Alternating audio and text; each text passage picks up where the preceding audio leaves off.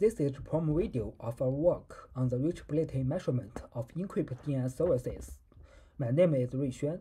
This is joint work of scholars from Zhejiang Gongshang University and Tsinghua University.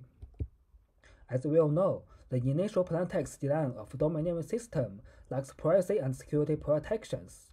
To mitigate these issues, the community standardized four encrypted DNS protocols: DNS over TLS, DNS over HTTPS, DNS over QUIC, and DNS over HTTP3.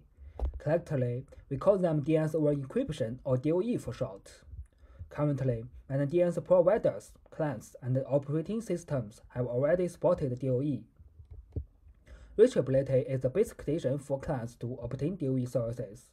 However, it is not simple to obtain DOE service.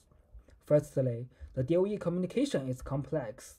Secondly, some ISPs have blocked DOE queries to maintain their grip on Internet governance.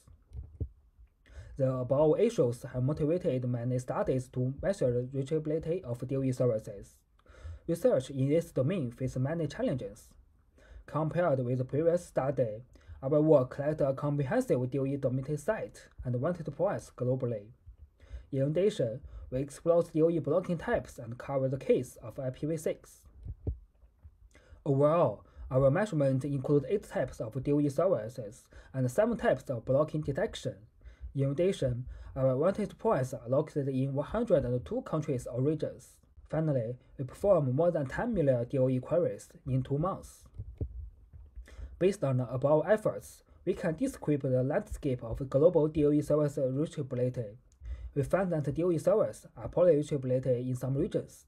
In addition, in countries or regions with strict internet control, DOE blocking usually occurs during TCP connections and QUIC voice negotiation.